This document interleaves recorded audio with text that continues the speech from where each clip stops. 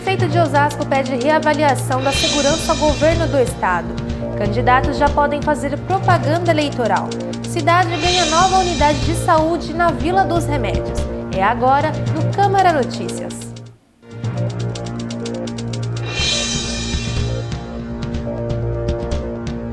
O prefeito de Osasco, Jorge Lapas, encaminhou ofício ao governo do estado pedindo reavaliação do planejamento de segurança para a cidade.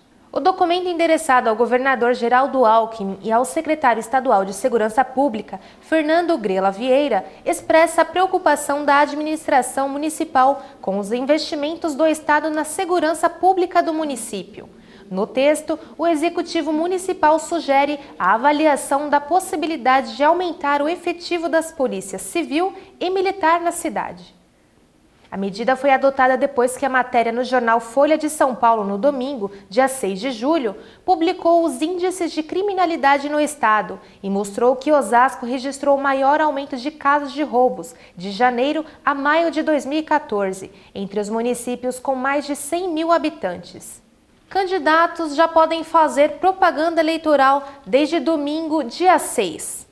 No domingo, dia 6, teve início o período em que está permitida a propaganda eleitoral para os candidatos das eleições de outubro de 2014.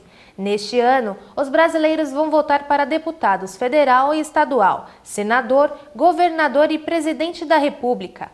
No rádio e na TV, o horário eleitoral gratuito só começa em 19 de agosto. O período eleitoral não deve afetar os trabalhos da Câmara de Osasco, embora vários vereadores estejam pleitando cadeiras na Câmara Federal e na Assembleia Legislativa. Eles não precisam se licenciar para concorrer.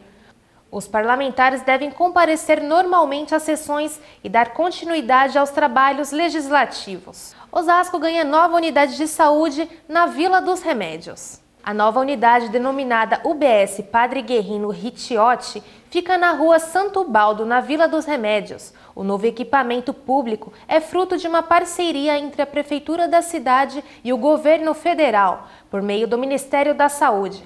A UBS foi construída em uma área útil de 442 metros quadrados e será equipada com estrutura médica moderna, adequada para o atendimento clínico, odontológico, ginecológico, além de outros serviços essenciais. Foi adiado até o dia 15 de julho o prazo de inscrições para o concurso público de Osasco. O prazo anterior venceu no dia 7, mas a administração resolveu ampliar até o dia 15 para dar uma chance a mais a quem estava com alguma dificuldade para se inscrever. No total, serão 3.215 vagas, que incluem as áreas administrativa, educação, saúde e segurança. Os salários chegam até 5 mil reais. As inscrições podem ser realizadas pela internet no site da Fundação Getúlio Vargas, organizadora do concurso. O endereço é fgvprojetos.fgv.org. No último sábado, a presidente do Fundo Social de Solidariedade e primeira-dama, Sandra Miciano Lapas, realizou a entrega de 430 peças de roupas e 70 cobertores à Associação Osasquense de Assistência e Bem-Estar do Menor. A ação faz parte da campanha do Agasalho 2014, que iniciou a distribuição das doações recebidas até o momento para diversas instituições cadastradas, beneficiando muitas pessoas em condições de vulnerabilidade social. Na ocasião, a primeira-dama foi recebida pelo presidente da associação, José Roberto Maciel, que aproveitou a oportunidade para apresentar as instalações da casa e mostrar o trabalho que é realizado na instituição. A sua bem completará 25 anos de fundação dia 25 de julho e oferece serviços de assistência social, psicologia, distribuição de alimentos, atividades socioeducativas, alfabetização de adultos, entre outros serviços, e realiza atendimentos às quartas-feiras e aos sábados, das 13 às 17 horas, e aos domingos, das 8 ao meio-dia. O evento Mãozinha na Massa com a Confeitaria Kids, na programação de férias do Super Shopping Osasco, tem chamado a atenção da garotada e dos frequentadores do local. Que criança não gosta de cozinhar e pôr a mão na massa? Pensando nisso, o Super Shopping Osasco preparou uma programação especial para animar as crianças durante as férias de julho.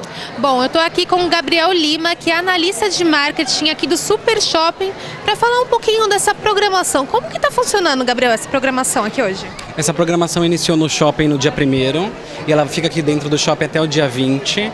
É, a Confeitaria Kids é um evento desenvolvido para as crianças que estão de férias aqui de Osasco e para a cidade de São Paulo como um todo.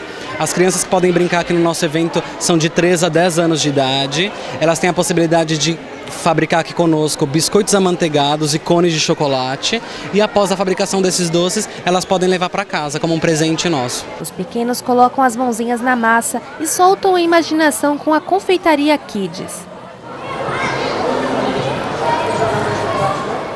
Espaço gourmet, as crianças são recebidas por um chefe de cozinha instrutor, duas auxiliares e uma recepcionista, que logo em seguida transformam os pequenos em verdadeiros chefes mirins. E os pais que observam de longe aprovam a programação. Eu achei uma ideia maravilhosa. Primeiro que período de férias, criança tem que brincar, tem que se divertir, ainda mais lidando com alimento, culinária, coisa que eles adoram. Acho maravilhosa, adorei a ideia, adorei. A sua filha já tem o hábito de fazer comidas em casa, porque criança costuma, né, gostar de mexer com comida, com alimentos. Já, gosta sim, bastante. Você incentiva? Ah, incentivo, claro, com certeza. Eles se preparam com toucas, aventais e acessórios. Na hora de colocar a mão na massa, com a ajuda dos monitores, eles aprendem a preparar deliciosos cones de chocolates e soltam a imaginação decorando os biscoitos amanteigados, como no caso do pequeno Matheus Farias. E você está ansioso também para entrar lá e brincar? Mais do que qualquer coisa no universo. Você gosta de fazer comida, doce? Bem, eu gosto mais de fazer comida japonesa, também gosto de fazer doces, brigadeiros, chocolate.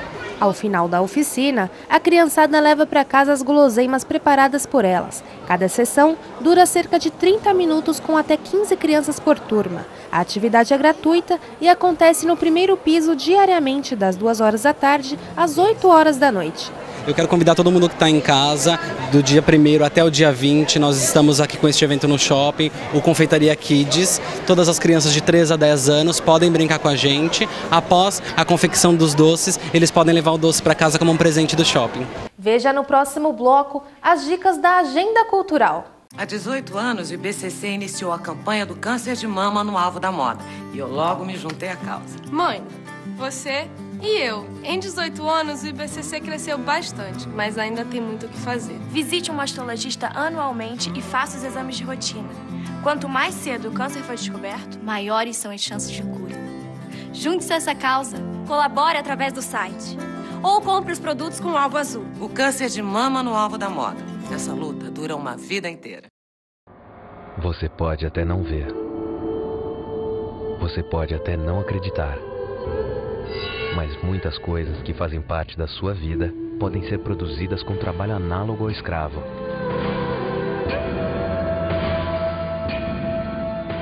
Se você conhece alguém que produz em qualquer uma dessas condições, não deixe passar. Denuncie. Suco! Suquinho! Ah, é de molhar! de morango, oba! Eu quero!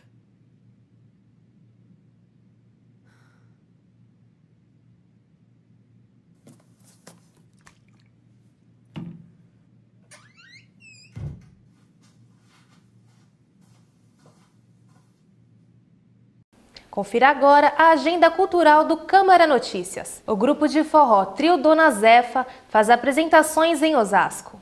Quem gosta de forró não pode perder as apresentações gratuitas do trio no Sesc nos dias 11 e 18, às 8h30 da noite. Surgido há mais de 10 anos em Campinas, Tório, músicas de Luiz Gonzaga, Jackson do Pandeiro, Genival Lacerda e Mestre Zezinho, além de suas músicas autorais.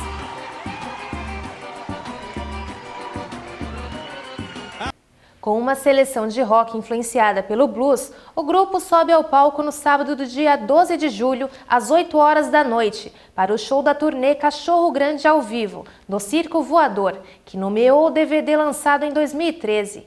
Os ingressos custam de R$ 6,00 a R$ 12,00. O Sesc fica na Avenida Esporte Clube Corinthians Paulista, número 1300, no Jardim das Flores. Mais informações pelo telefone 3184-0900. O Câmara Notícias fica por aqui. Eu sou Jamília Oliveira e nos vemos na próxima edição. Até lá!